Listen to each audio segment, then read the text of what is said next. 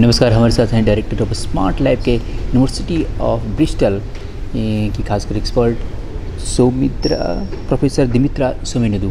आइए जानते हैं कि 5G का कितना प्रोस्पेक्ट है और क्या कुछ इसका लाभ है। तो welcome to my show now. What is the 5G prospect in two days now Uh, 5G is, uh, is an evolution of the mobile network as we know it. Okay However, it brings some completely new features uh, that allows to go well beyond of uh, what we are doing with mobile networks at the moment.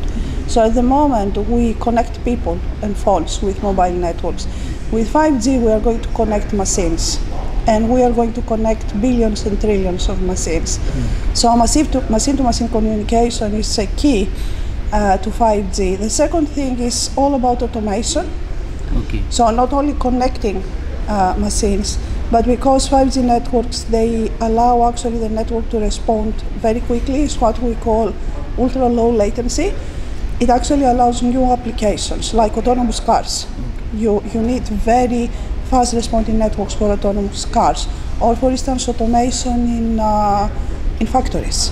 in India in very small city and dense density is very uh, much how can be applicable in, in this area Uh, Well, India is a perfect example for uh, for 5G because you have very high density of people in uh, very small spaces, and therefore you you potentially need much more capacity. And this is not because each person needs more connectivity speed; it's because of the density of the people that they are existing. So too many mobile phones. Uh, 5G is going to be able to sustain this traffic and the growth in traffic. So it makes absolutely sense for Indian Indian cities. Uh, in India, some cities are the smart city already projected by the government. Yes. Yes, I'm, I'm aware of an initiative that the Indian government launched some time ago. I think it was 100 uh, cities initiative because we had some discussions between uh, uh, the UK and the Indian government about a couple of, of years ago. Um I think that there is a trend all around the world for smart cities. Uh, and uh, quite a lot of places they look at the smart city only as deployment of technology. Smart city is well beyond technology. It's really improving people's life. For instance, I was driving from my hotel to CDOT today. And the road was completely congested. I know about this because in Bristol we have we are one of the most congested places in the UK. So we have to start uh, with our digital solutions and 5G here to solve actually start solving this kind of problems. Can we make the city easier to move? Can we make the air quality better? You know, can we actually stop the digital divide? So issues of inequality, and again, Delhi is a good example of this. I mean, Bristol is another good example of this. People don't get the same access to opportunity. So 5G is coming to give solutions to quite a few of these problems. Uh, but the technology itself is not going to solve the problems. We have actually to make sure that when we are creating a smart cities to address people's problems, not technology problems. And the last question is that uh, you have already uh, talked about this in CDOT. CDOT. Yes. Say about uh, what is has a proper way work in the research development.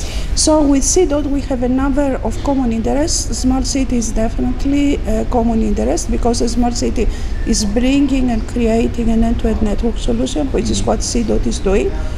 Also, CDOT fo- is focusing now on smart cities, and they are very much interested to understand the kind of applications that we are actually have already trialed around 5G. Smart safety, uh, uh, public safety is one, which is very important.